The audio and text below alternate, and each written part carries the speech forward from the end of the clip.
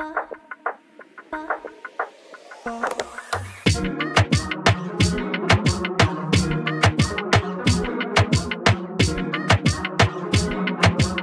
right, welcome back. Here's another episode of Emotional Nightmares. I am your host. My name is Tyler. I'm your co-host. My name is Nicole. Bear with us as we only have two microphones, so we're going to spin this one around a little bit. Um, on today's episode, we're going to dive deep into the different forms of abuse, um, kind of what the premise of this podcast is all about. Uh, we have a special guest today. Her name is Rebecca, and she's going to kind of walk us through the different forms of abuse that she has gone through in her personal life, um, and we're going to kind of go from there. So, with that being said, um, uh, Rebecca, if you want to kind of start us off, tell us where you want to go with this. All right. Yeah. Um, I'm Becca. I'm 32. Um, I have had a lot of different things happen throughout my life, but it started out kind of primed from a very young age to feel like I needed to earn love, that I wasn't good enough, um, that I was never just validated for who I was. I, I always had to do something better. And that definitely carried through um, throughout all of my relationships. I was cheated on by just about everybody I've ever dated. So going up through post college, um, I was around 25, it was 2015, 2016. And I found myself in a very abusive relationship very easily, very quickly. Um, and it really showed to me that you can end up in that kind of situation so fast before you even know what you're getting into. Like all of a sudden, it's really bad. Um, and then getting yourself back out of that So, is hard. so when you were in it, right? Because if, if we're starting with a, um, a physical abuse, right? So obviously it probably started off good in the beginning, Yeah. right? Uh, I don't know if it was ever really that good, honestly. It started out verbally. Okay. So I dated this guy I met online, and I was heavy. I was depressed. I was in the, one of the worst places I've ever been in mentally. And he really echoed that to me. He re- echoed all of the things that I already thought about myself. So And you thought, let me date him. yeah, yeah. I love that. I, I just somebody was choosing me. That was my only qual- criteria. I did not question beyond that of like, do I want this person? No, he wanted me. And then he didn't actually, because he was embarrassed to tell his parents about me because I was fat, or he wouldn't go down on me because I had a belly, or if I lost just lost forty pounds, you know, he would propose or take me seriously. Just those kinds of things in the beginning, and I just rationalized them because once again, somebody was finally choosing me, and So you, so when that, when those were going, going on, to you, that was already normal behavior. Like you already thought that was normal in the sense of, you know, if somebody, because you know the average person that's listening, Right. like we all know different, but the average person that's listening is like, well, geez, if I'm dating somebody and they're like, oh, you know, lose some weight or you're fat or this, you're gonna say, oh, I'm out. right. You know what I mean? I think it starts in kind of insidious ways, and it doesn't start out just blatantly like that. Like, it'll be a hidden compliment kind of thing. Like, oh, you're so beautiful, and you're just everything I've ever wanted. And if you would just lose those 40 pounds, and then Okay. we would be great, you know? Or, you know, I'd be so excited to introduce you to my family if you just, you know, wore a little bit nicer clothing or, you know, did your hair a little bit or took care of yourself a little better. And in the guise of bettering you or in the guise of, uh, because I care so much. Right.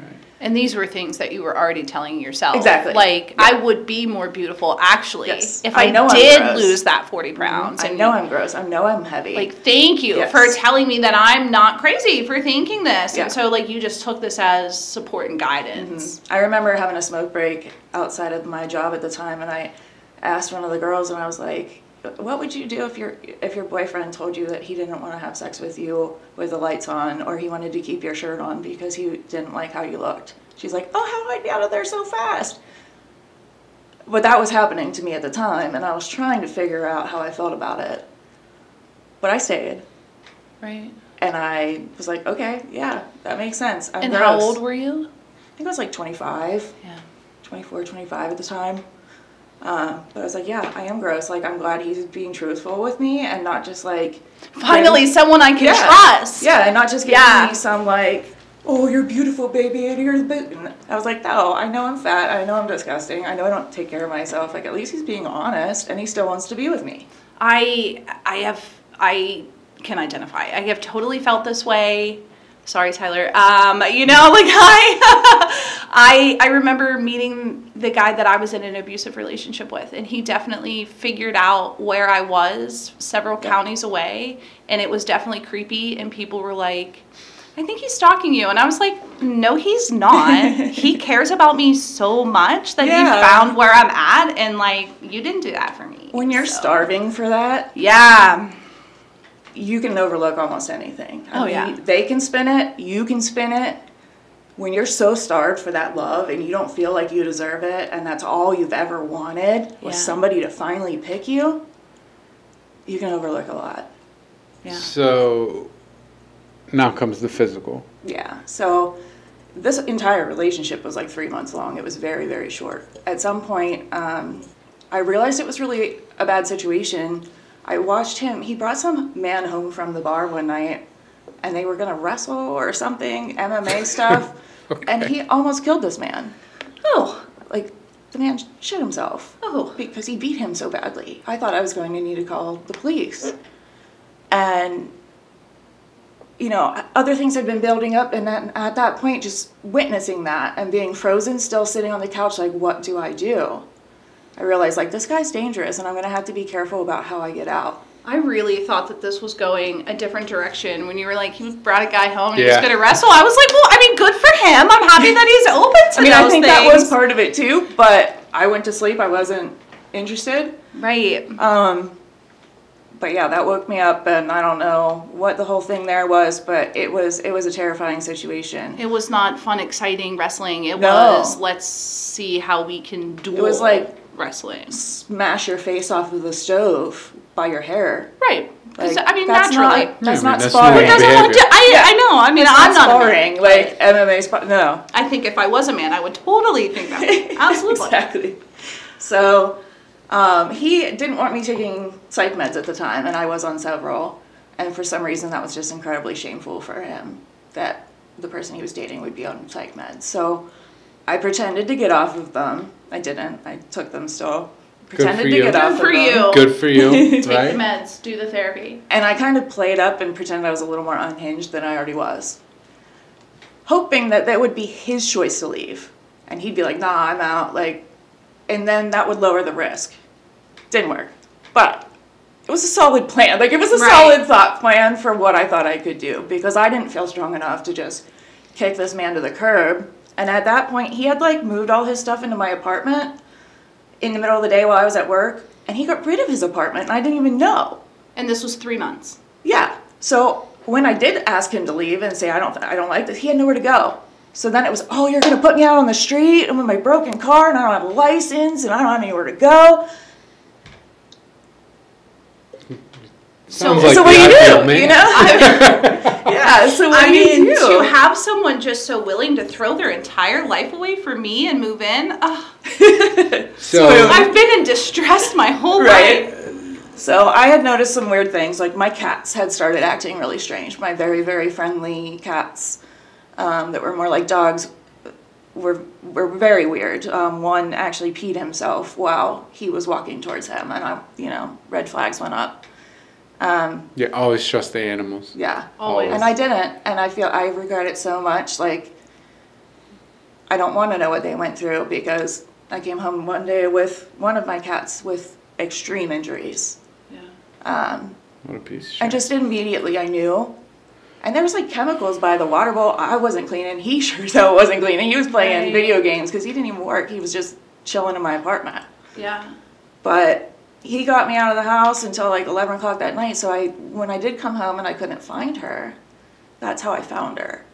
And I took her to the emergency vet and I tried to do the, I guess, safest route possible. Um, they asked me if I felt safe at home, like they do in doctor's offices, because they knew by her injuries that there's nothing in my apartment that could have Right. caused these injuries. They were human Right. inflicted.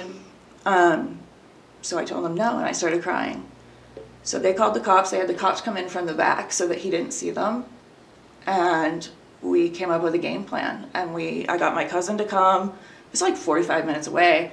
She drove, stayed in the parking lot so she could follow us home. Your vet's office. Yeah, I was just Oh, thinking that. it Like, was the good for emergency them. vet. Yeah. Oh my goodness. Good for them for Shout out to recognizing. them, yeah. Mm, they They- went above and beyond. So that you know the vets are amazing because like most people don't realize like children and youth services Mm-hmm. was even in, the only reason why they're a thing is because of animal abuse, right? Mm. So um, it's always amazing to hear. Like unfortunately, we live in a world where the people that are looking out for animals are better trained than like the people at the hospitals or something Oh, like yeah. that. Like they're you Yeah. know so shout out for them for definitely um, Oh, they saw it. recognizing Oh my that. god, They yeah. You know what I mean? Like that's very impressive that Yeah. they saw like, hey, something's not right. Like, let's get you out of this. Yeah. So- I mean, honestly, like after I, after we met originally, right? I started studying ethology and dog behavior and animal science, and I honestly, truly believe that that made me better at my real job. You Yeah. know, and so y- trust the animals; yeah, they're incredible. Absolutely. so now you're out. Yeah. That one ended badly. so that night, the cops had escorted him out. Um, we kind of had this whole plan thing. I drove home pretending like I didn't know he did that. And oh, she might have gotten into some chemicals or something.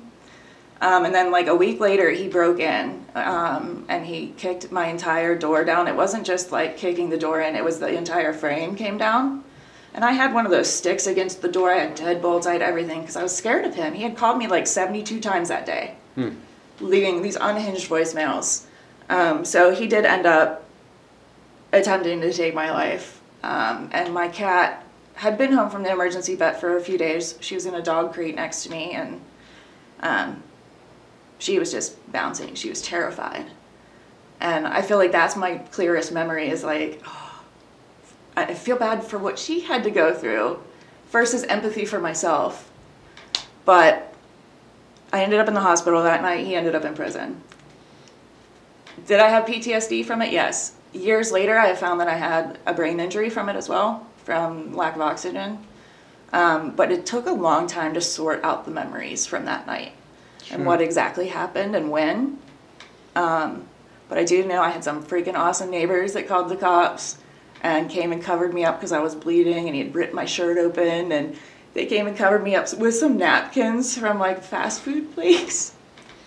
I baked them cookies and I left them cookies. I like they saved me for sure. Um, Can I tell you just like how grateful I feel for your situation? Because there are hundreds of thousands of females where, even with that situation, the police don't or can't help, or they don't or can't get Yes. out. They don't or can't get their animals and children out. And so the fact that you were so fortunate. Yeah. Like, I really Absolutely. was. And, you know, the police that I dealt with that night were amazing. They treated me so well. They were so kind to me. I was worried about my cats. were you in Pennsylvania? hmm I was a little bit about two hours south, but I, I was worried about my cats because the door was down.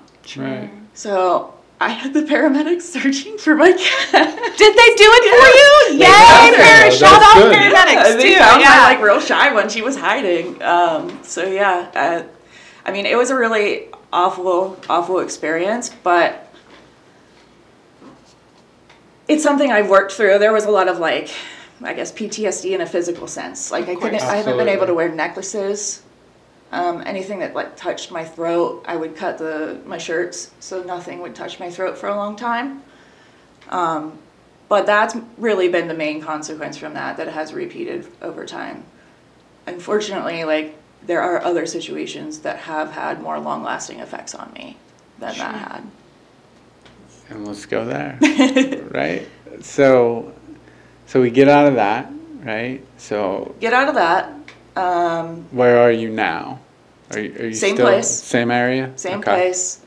A few months later, I got back on the dating apps, and I was even in a worse mental state than I was before. This had just happened. Absolutely, My sure. grandparents died. My lease was coming up. I had nowhere to go.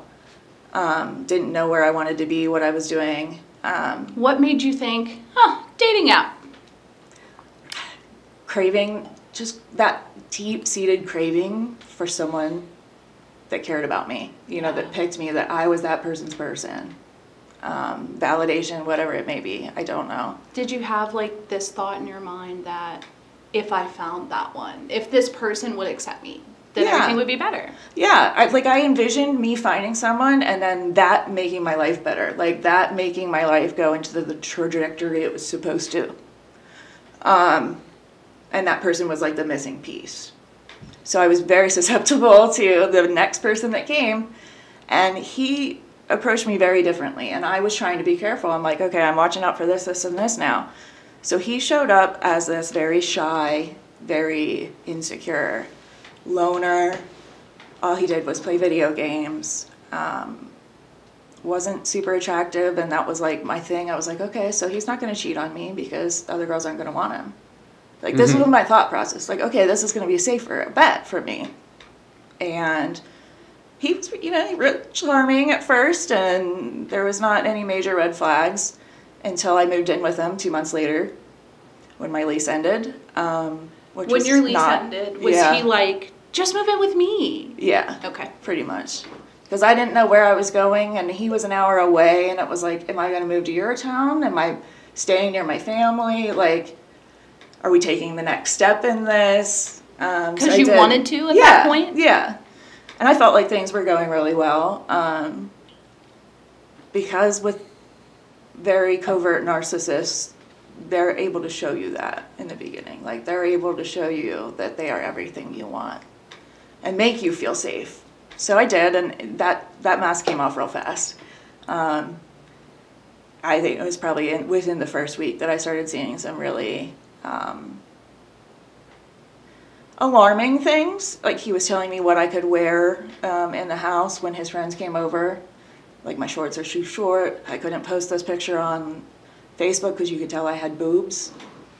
Like, sorry, I'm a woman. We wouldn't want you Like, Yeah. to do that. I'm not showing them, but like you could tell through my shirt that I had them. rude. How Um, dare you, honestly? right? um, just the most minuscule things, and I think that that is something that I have tried to express to women over the time. Like these small things built up into such a huge issue, Absolutely. and I.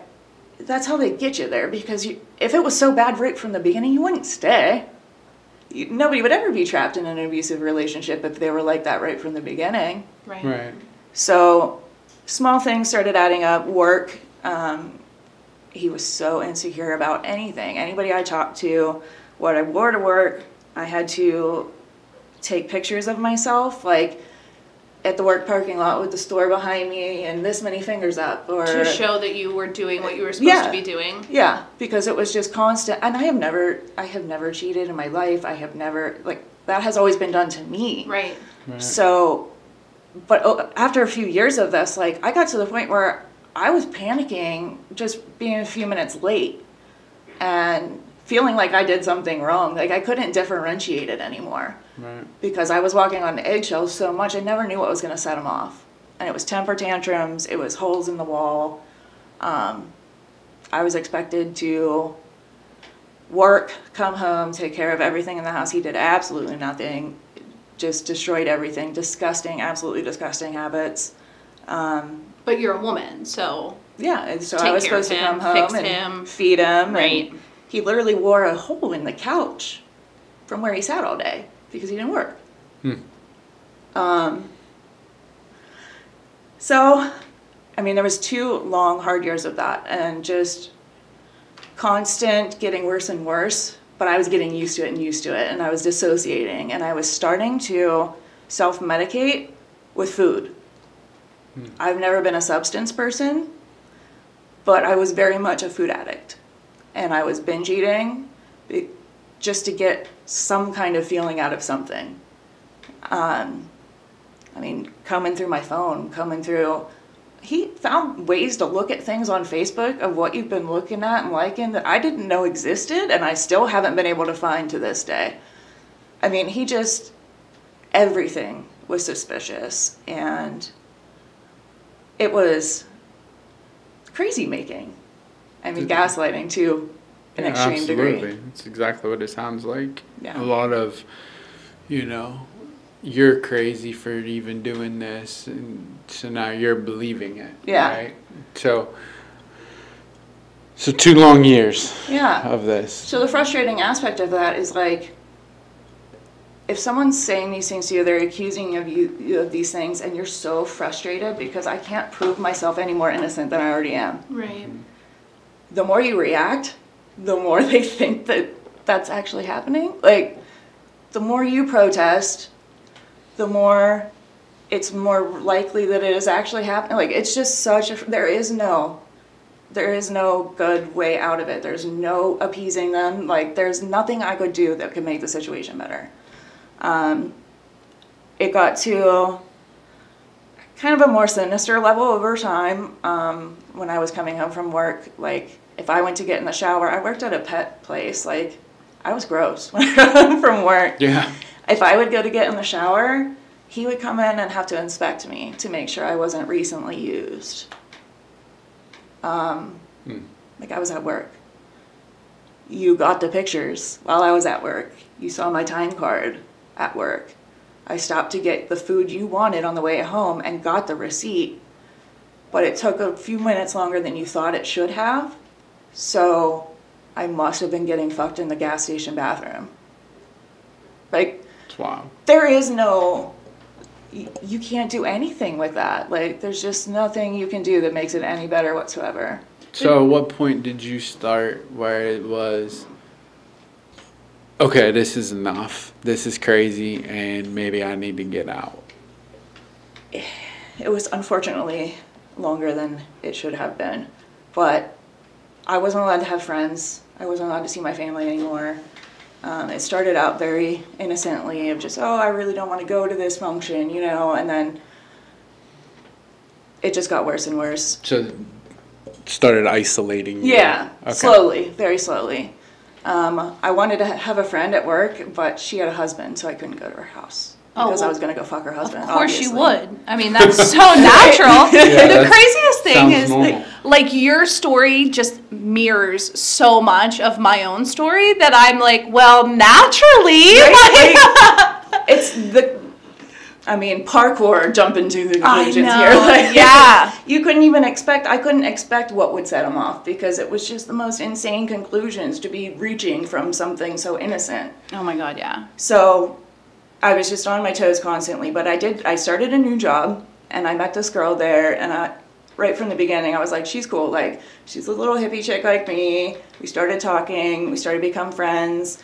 And I just started talking to her about my day to day, like you would catching up with any coworker, and she would stop and she'd be like, "What the fuck? Like, are you serious?" I'm like, "Yeah. What do you mean?" She's like, "Does that happen a lot? Like, you have to take a picture for him? What? What?" What's that feel like when people stop you and try to repro like what is that feeling like for you? Yeah, that's my question. in the beginning, I didn't understand what she was so upset about.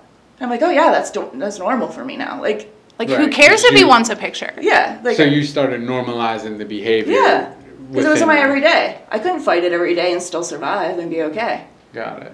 So here I am at, clocking in at work and taking a picture to send to him with this many fingers on him. She's like, what the hell are you doing? That's not normal. That's not a normal relationship. so she really like as I started talking to her about more things, she was really like, Becca, like that's not that's not how somebody should treat you and you're worth so much more than that. So with that little tiny spark that she put back into me, because at that point, like I was, I was so depressed that I was probably gonna end it. Like I was, I couldn't think for myself anymore. I couldn't trust my own opinion. I couldn't trust my own sense of time. Like he would convince me that I was like running 20 minutes later than I, and I'd have receipts but it's just it's so insidious um, so she really she really helped me out with that she showed me a lot of the things that i had normalized to myself and just how messed up they were and she she threw out the word abuse So during this process, right? Because we're gonna go to the average person, right? Because there's a bunch of TV shows, and hopefully, um, this episode people will be able to see and use this as a tool too, right? Um, I I think of the movie. Uh, what's the movie with Jennifer Lopez where she beats the dude up? Enough, right? So um, you know, there's movies, there's these things, right? And the average person always says, you know, well, did you not think this was crazy? And when, why did you not just leave the first moment you realized, like, why am I taking pictures of my time clock? You know what I mean? Because it starts out smaller than that. Yeah. And it starts out so damn good. They know just how to make it so damn good. Like, this is my person. I finally found it.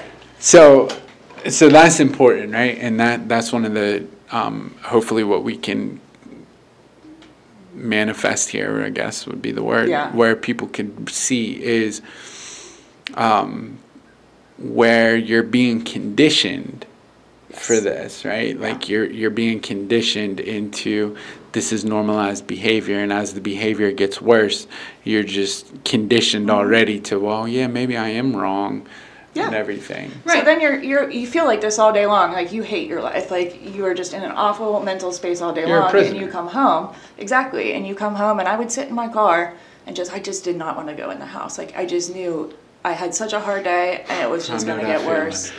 And I wrote a poem about it and shared it online, and so many people resonated with it, and like that hurts my heart that so many people know that feeling. But it also makes me happy to share those things because in some ways they're silly. Like I was about to write a poem about how we had a big fight about what a wall sconce was called. I said there was like spider webs and he's like, it's a candelabra. no. But that ended with holes in the walls because everything was that explosive. Well, you can't be right. Yeah. God So, forbid. I mean, you can't. Even if you Google it, no, that's wrong. Throw my phone, break it. Like, Right. it's just, you can't. And then And that's the gaslighting behavior, right? Exactly. Because unfortunately, you know, we, we were talking about this and we don't have any of these episodes yet figured out where, what number we're going to release them.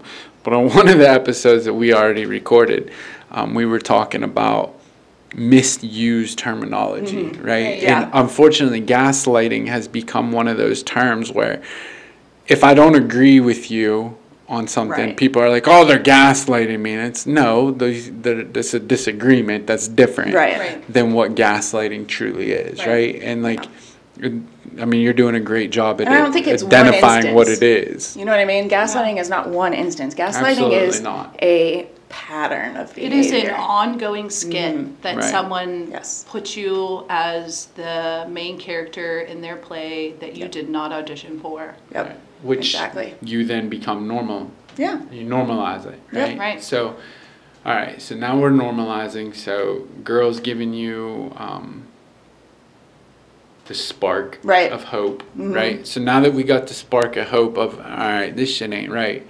Um, what's the next move?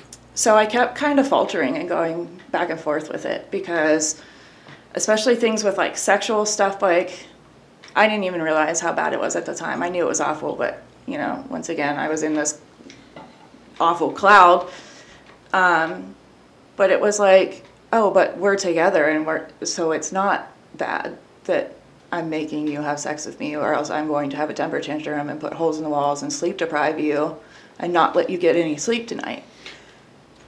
Which is not okay, Exactly. right? Like that's rape, right? Which I, I literally did not put that word to it for almost six months of therapy afterwards. Eh, And this happened every day. And I want to talk about your therapy because you had mentioned that to Yeah. me on in a text message, which I think, again, like I'm very like I don't know you, but I'm extremely proud of you for doing the therapy that you that. are doing. Yeah. Um, because it's rare that people stick to that, right? Yeah. Because it's so intensive, um, and I'm I'm a big advocate for that. But anyway, Well, it's so intensive. Then, as soon as anybody gets a good feeling, they They- kind of turn yeah. their therapist into the the other side of a fuckboy relationship, and Right. they don't hit him back until they're like, "I got sad." Yeah. You know? Yeah. so so it's really good that that you're doing that um and and i definitely want to dive deep into that so but that's important right is because i don't think a lot of people understand that Yeah. um is male or female whatever it is if you're in a relationship that doesn't mean you have free use Exactly. of the other person's Unless that's your body. thing. I mean, I- like, I- you can have that as your thing. All right, yeah, not we can. against your will. We're not here to Sure, judge. sure, Exactly. sure, sure. If that's if that's your thing, but that's again, no, that's not really.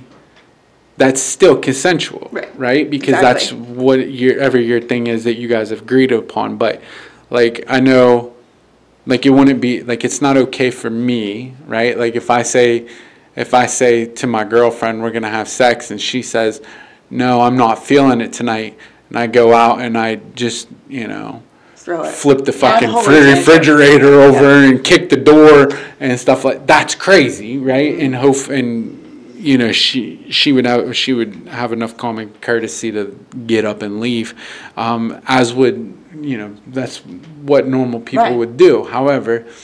It's important to understand that you're being conditioned, Exactly. right? You're being conditioned to this is normal That- behavior. That was my theme of life was internalizing. Yeah. so you're at fault, right? So I'm at fault if I don't do what you want, and like get, maybe I am the problem, right? And it's a survival thing. It's dissociation. Yeah. I'm shoving my face with food. I'm scrolling endlessly on Facebook so that I can stop listening to him screaming his conspiracy theories at me 24 7.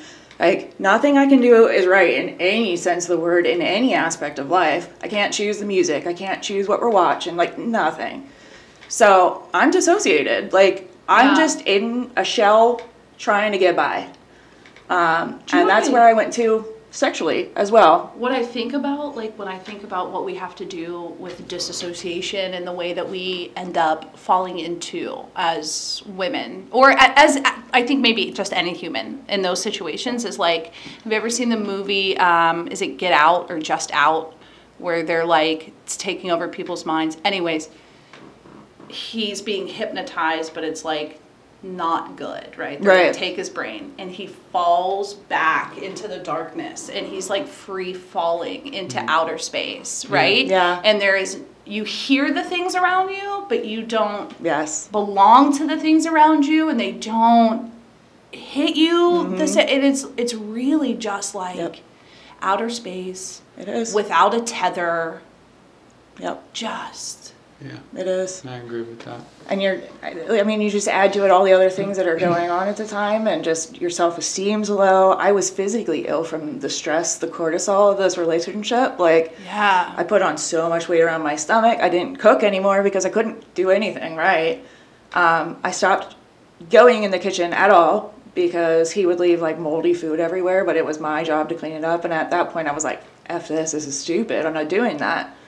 So I gained a bunch of weight from the fast food, you know, but Yeah. it was just finding any way to get through the, to the next day. sure Um, but that does take a physical toll. Absolutely. Um, I was having autoimmune issues. I thought I was having like gynecological issues. I went to three different doctors. And like, why does this hurt so badly? It feels like I'm being split open by razor blades. There was nothing wrong with me. It was psychosomatic because in my head, I hated that it was happening. I didn't want it to happen. I was thinking in my head, like, oh my God, he's so gross. It's disgusting. Like, just in this whole other world of disgust. So then your body you Right. know, Sure. tries to Body protect you in that Trauma way. response. I mean, Right. I'm so appreciative that you talk about that because there's so many people that have those feelings Mm-hmm. and they're like, the doctors aren't helping me. They're telling me there's nothing wrong with me and they're lying. And Mm-hmm. it's like, the again, the disassociation and the things that we've normalized, right? We can't trust anybody. Everybody's gaslighting us, so it must not be Yep. truthful, you know? It, they must not be taking care of me. But like the real results of what Mm-hmm. the stress hormones and a negative environment can do to you Yep. are so for real. They are. They re- it's scary, and I mean, add to that a layer of because it was so painful to me. That now became a point of contention. That now became a point of abuse because I didn't want it even more, and I would have to physically recoil because that's that is some otherworldly pain, and I could not continue. Even if I was shutting it all out, I could not. So now it's even worse because now he's not getting it every day, and now there's more holes in the walls, and now there's more sleep. I mean, it's just, it never ends. It just compiles and compiles. So now we got hope, Yes. right? I'm gonna take Got us that back. little, little spark. All right, so we got a little spark. All right, so with the little spark, what is what is the point of I'm out? His family, his grandmother. I was just about Good to ask you her. where his mama at, because I would have called his mom. The amount of times they live nearby, the amount of times that I ran to their house s- sobbing. And what did they have to the say? I mean, they were comfort. You know, they would try to comfort me, but like it's their kid. Yeah. Like they would say that that's not okay, but like, what more could they do? We're adults, so. But she really, they sat me down, and it, they said, "Becca, like you, you deserve so much better than this, and like this is not okay. This is, this is insane, and Good for grandma. we can see how they were like we can see how when the light that you had when you moved here you don't have that anymore hmm. so between them who i really trusted and i really loved and my friend it was just like okay it's time to do something about this because it's one or the other like Good for you. i'm gone by my own hand or i get the hell out of here Right. because he never hit me. And that was something he said all the time was like, I'm not hitting you. This isn't, you know, like, why are you being so dramatic? It's not this bad. Like, it's not that bad. Everybody has their issues. Everybody Yeah. has their. How dare you get upset for him? Exactly. Which is Repeatedly also doing SA, you know? Yeah. Like, how dare you? Yeah. which is also the best point. Yeah. Right? Is just you know I you know I because I, do counseling for a living and like you know like I have to explain to people all the time is like they'll say that they'll you know that's always the number one thing Mm-hmm. He is doesn't hit me. yes but it, I'm not getting hit Mm-hmm. and I'm like okay true you're not getting hit. However it is still the same kind of abuse because like I don't know about you personally um, I'll take physical abuse any day over been emotional and mental. with. you know what I mean? mental and emotional abuse like eh I'll take the physical Right. right You Um, normalized that a long time ago. so yeah, yeah, yeah, you know, yeah. That became that. that. became normal like And that's long one Way thing time it ago. done, puberty right? was it normalized Right. for us. You yeah. know what So- to expect. It's something and done. Like the depths of depravity that the other stuff can get to. Yeah. So you got out. So did you come back here? I did. Um, that was like my biggest mark of failure. I, I did not like growing up here. Um, Well, it I had a very yeah. hard time. I was bullied. yeah, I was bullied very badly. Um, my family relationship wasn't that great. So that was my ultimate mark of failure. Was at 29 years old, ending up in my parents' basement with my seven pets. But I made the decision. They they got a U-Haul and they Sounds came like and got me greatest within like yeah, within like four days, they had me out of there, and I left. I left everything. I left the things that I had gotten from my grandparents when they died. I left them. He'd ruined most of it anyways. He'd bore a hole in the couch. The pans. I wasn't digging through an entire. Where's your tote animals? Moldy pans. What happened to the animals? I let a few of them were left there. Um, some of the reptiles we had, but I brought the rest with me. Um, so it was me in the basement with seven animals. Is that So- when I met you? yeah, it is. Yeah! It is. So I'm like a literal hole in the couch. Like I'm just trying to like picture a, like a dip, like straight up divot. I like how I moved on with you because I'm like naturally, of course, that's good. I totally you just flip the flip the cushion every now and again, Yeah. you know, and like he's yeah like coming back to it. yeah because like that's not normal for me right, Right, it's yeah. like you know um because also at the end of the day too i'm not a woman right so like i'm not all this is like you know that. is different you Yeah. know what i mean like i'm not gonna have the same perspective as you guys do um I mean, I think it's really important to also mark that like men are equally getting abused. Yeah. sure and sure that sure is happening. So, like- but I get what you're saying. like I can identify with a lot with Mm-hmm. like emotional abuse, and I can identify a lot with mental abuse and disassociate, and, and like when you were um, mentioning, you know, pull up in pull up to the house and just sit in the car. Um, you know, I was in a relationship one time, um, terrible, right, and and it was that. Yeah. You know what I mean? Like I would pull up and be like fuck, I don't want to get out of the car and go in because I was excited to go to work, and then I would be like, fuck, I gotta. extra hours, go the long way Yeah. home. Now I'm like, shit, work's done. I gotta go home, and like, and I mean, it wasn't nearly as bad, right? But it was still. Um, I was still experiencing those things Yeah, as a male, like you do. So like we won't take away from that, but forget about that because like from the female's perspective, like hopefully this episode helps females as much. Um, I'm sure males will watch it, but females, I, I- I'm hoping that they take away from it. So I find like that like even like the silly weird things like the candelabra thing or like Yeah. that he could never be out of his special alkaline water or something like that. Like people will hear that and they're like, "Oh, you know, my boyfriend or my husband does weird stuff like that too, like really crazy overreactions just and then they start piecing the puzzle pieces together.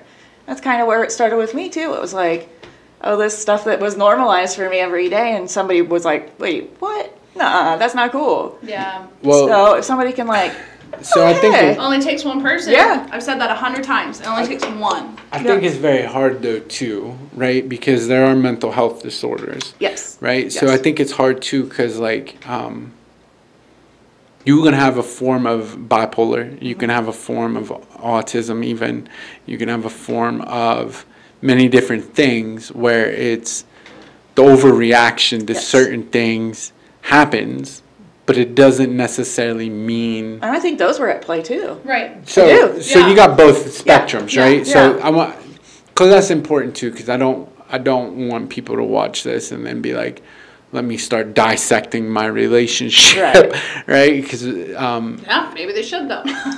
I mean they should, but at the same time though too, um, not everybody's crazy, right? Right, yeah, So like, yeah.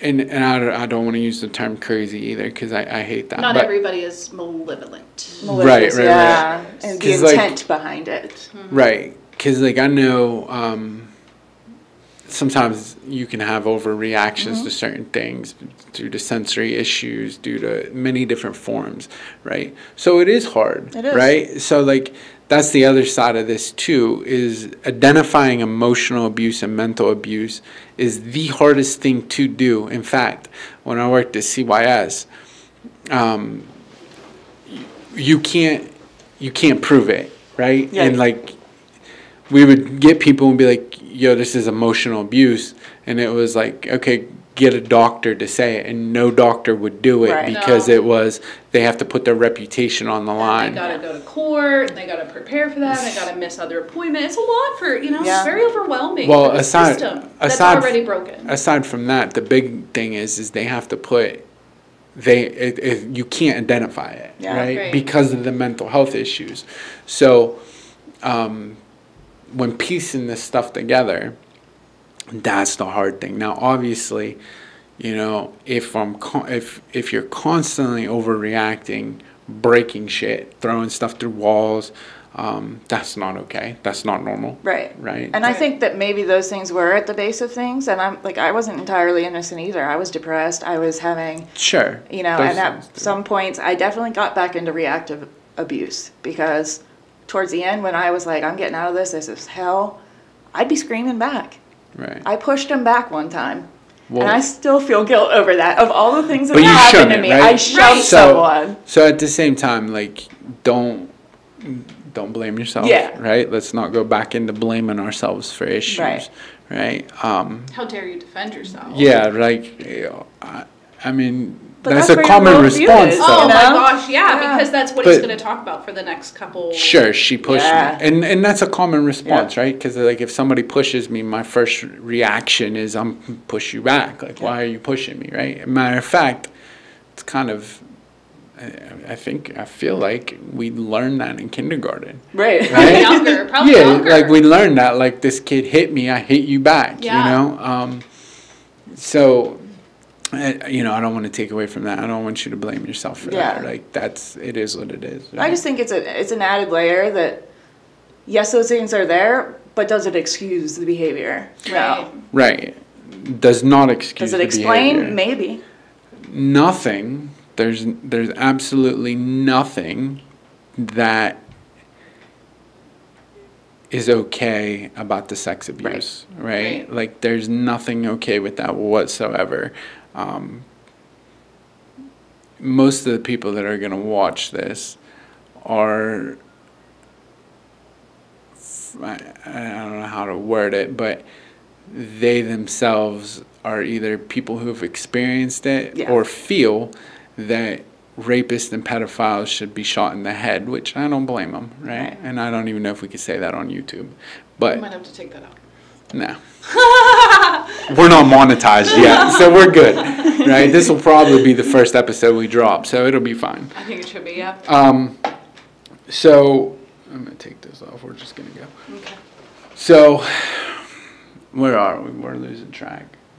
She Um, got out. She moved to her mom's house. Yeah. Yeah, yeah, yeah, we're at mom's house. We're in the basement. She got most of her animals Right. out because she had true G. so I met her now she's a wonderful human. Yeah, I found a really cool therapist that does EMDR therapy. boom, perfect. Yeah. All right, so now go ahead. I mean, Talk I've had mental that. health, health issues my whole life. I'd been in therapy on and off since I was a little kid. It never, it always made it worse for me, honestly. Talk therapy, going in, how do you feel? Right. There was never any solution, and I would just leave feeling worse than when I came in. Mm. It would just bring it all up, you know? So, coming back, obviously, I knew I needed to untangle some of that. Um, I didn't know at that time how much. I didn't consider that sexual abuse at the time. Like, I knew it was awful, but we were in a relationship. right. Um, so all those things, like there's so many things that even now I'm unraveling, and I'm like, oh, that's not no, like that's not w- what happens in a healthy relationship. Because things just got so turned around for me. So EMDR has been uh, just a lifesaver, an absolute lifesaver for me. Um, it has made connections. I have a lot of repressed memories.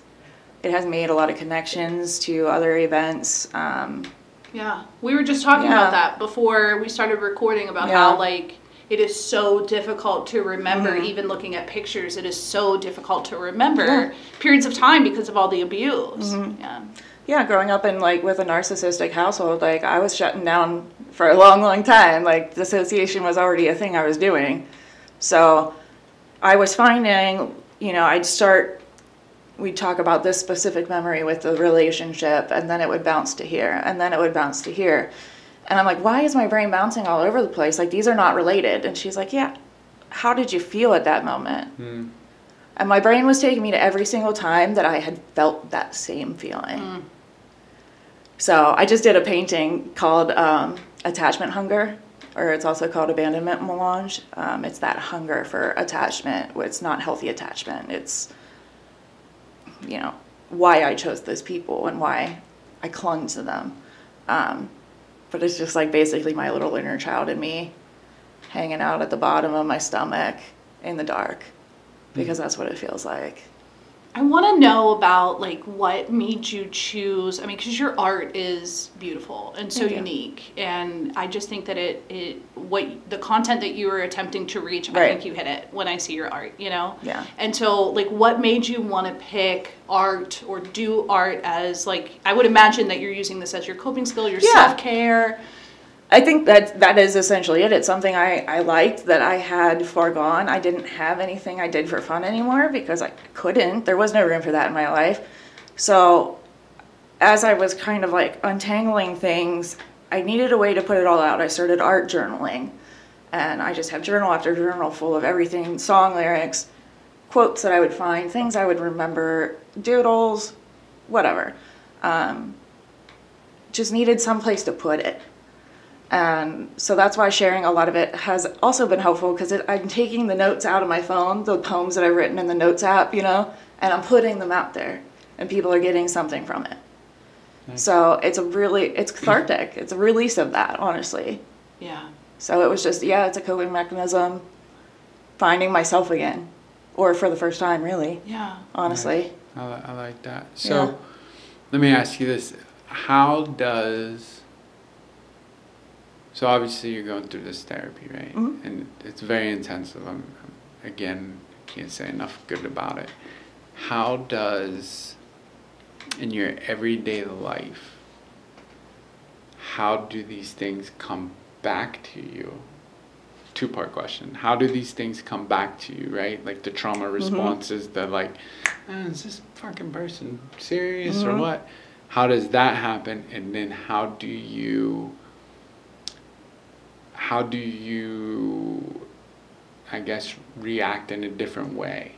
So Coping skill. I wanted to put it like you said in a one text message, LMAO. and I kind of reacted to that, and I was like, it's not funny. Yeah, yeah, Um, and I didn't actually think you were thinking it was funny, but in the last few months, I'm 32 years old, and I just found out I don't know how to feel anger. I it, I was never allowed to show that because my reaction to the abuse became the problem. So I shut down any strong reactions. Hmm. So if something makes me angry, or if somebody does something that should make me angry, my brain like switches and it like skips right to like self pity and like depression and putting it on myself.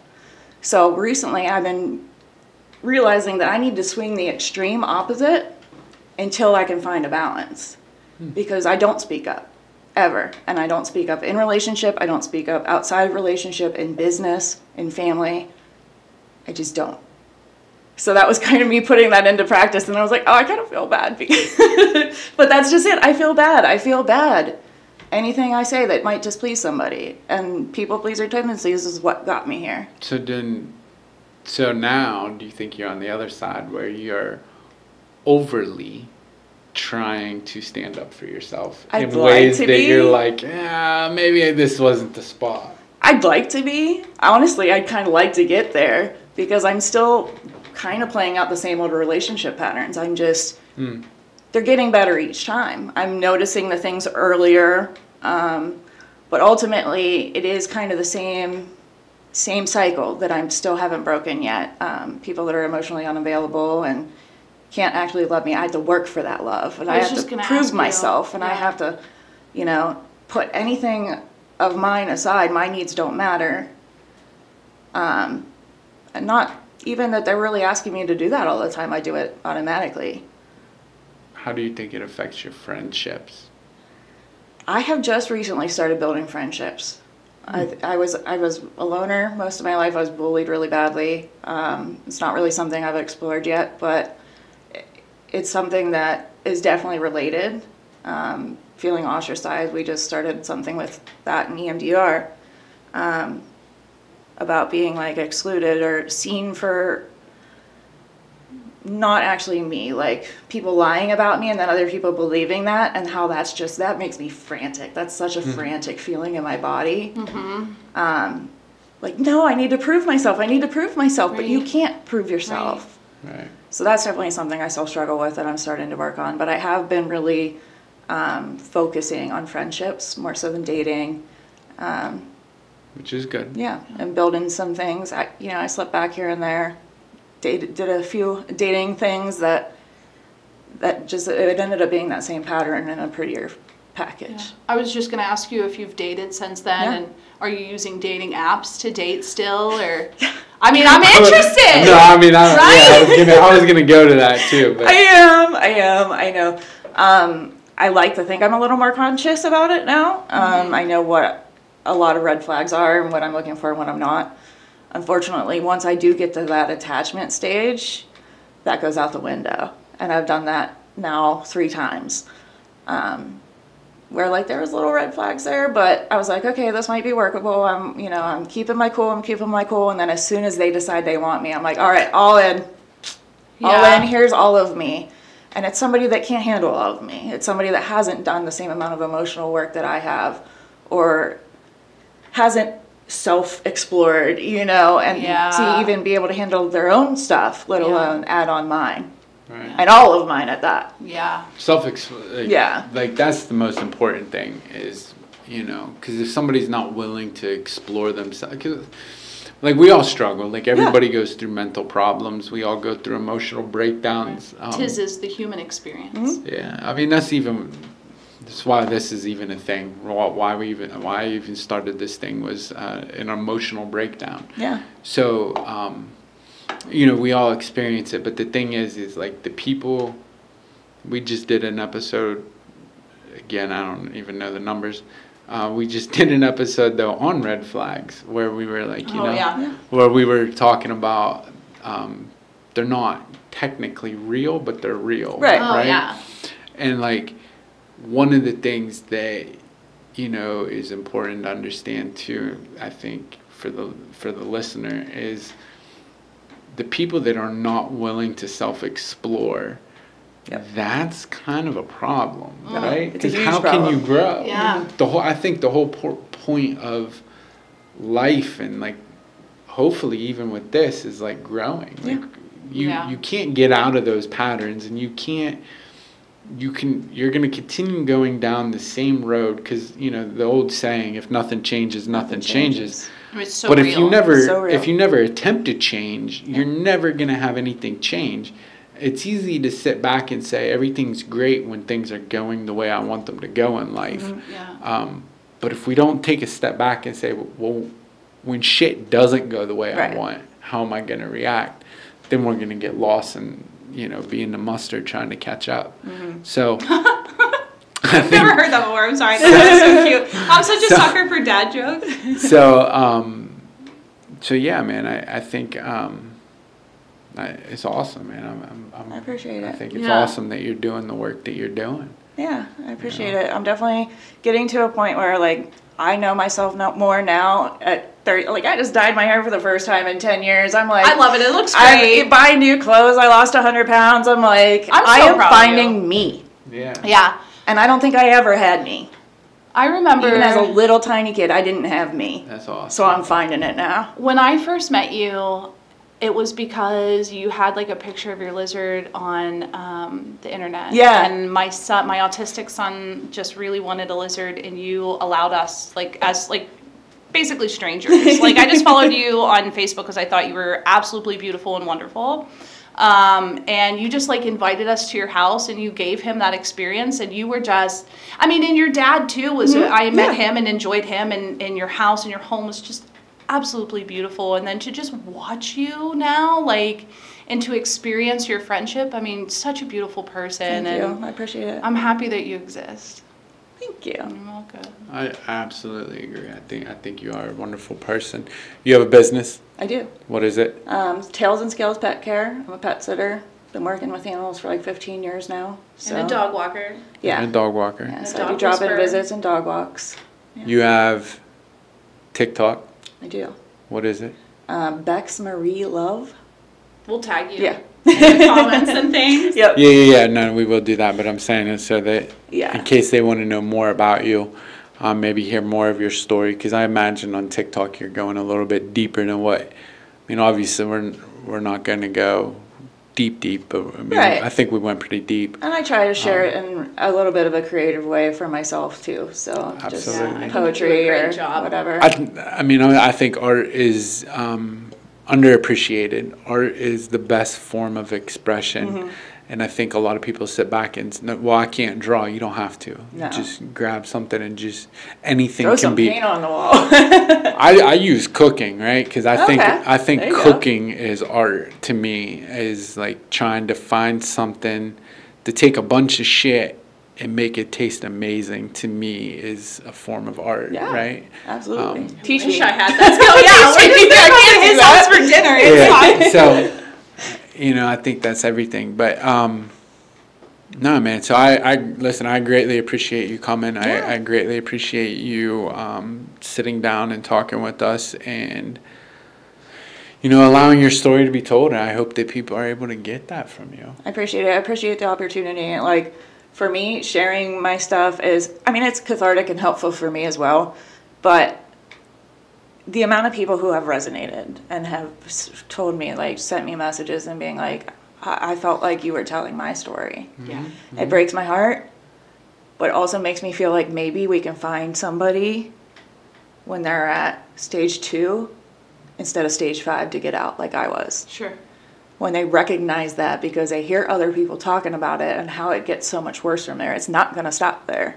right And then maybe they can get out before the damage is too, too, too. Maybe you found a new career path for advocacy. Maybe. we'll have to explore that Yeah. Yeah, sounds like a great career path for advocacy. um, but no, man, I greatly appreciate. So, I think, you know, um, we'll, we'll wrap it up here, and I think, um, check out her tiktok yeah, let, check out Yeah. our TikTok. Those of you that are in our local area, you know, if you need animals sitting, um, yeah you know where to go. Licensed and insured. Absolutely, that's good. So, like it, share it, subscribe to it. Um, most importantly, you know, come tell your story. That's the whole premise of this. So if you yourself want to advocate for something, um, some kind of cause, something, whatever it is, man, I want to hear your story. I want to know. I want to know the human experience. Why do we think the way we think? Why do we go through what we go through when we don't have to? Um, let's help each other. Yeah. Um, I want to hear from the other side too. I want to hear from people that work in the system and do all the things. I want to hear both sides. Get them out. Yeah, yeah, I want to. I want to hear it all. Um, the voice for the voiceless. That's that's the whole platform here. So, um, you Love know, that. hit Love us it. up, message us. Um, links are in the thing, and that's it. Keep happy hour happy. Let's get. Thank you for watching.